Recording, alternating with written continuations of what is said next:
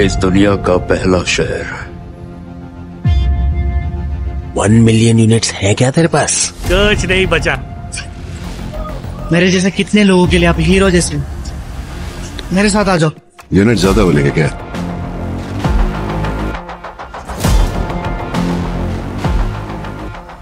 बाकी अगर कुछ है तो सिर्फ़ कॉम्प्लेक्स है।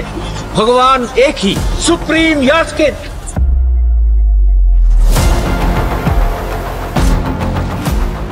इस दुनिया में बस एक ही साइड होती है।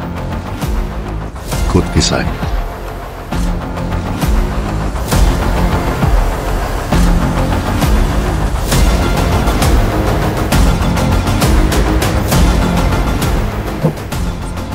वो लड़की मुझे चाहिए। पॉइंट ये है कि मैं ही हूँ जो उसे ला सकता हूँ।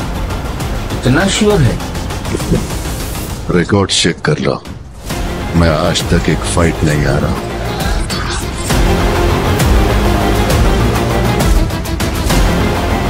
तुम्हारी जंग फिर से शुरू हो गई है। ये भी नहीं आ रहा मैं। जिसने अपनी पहली सांस तक नहीं ली वो इतनी आखिरी सांसों का कारण कैसे हो सकता है?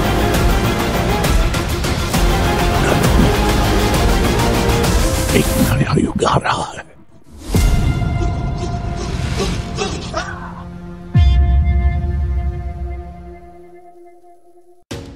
इंडियन सिनेमा की मोस्ट अवेटेड मूवी काल की? इस मूवी की ट्रेलर फाइनली रिलीज़ हो चुका है। जिस तरीके का modern technology top notch VFX real shooting set mythology और साइंस फिक्शन का मिक्सचर इस सब कुछ काल की 2898 की ट्रेलर में हमें देखने को मिला। एंड डेफिनेटली इस मूवी को लेकर जितने भी एक्सपेक्टेशन थी, वो सब इस छोटी सी वीडियो में ही पूरा हुआ।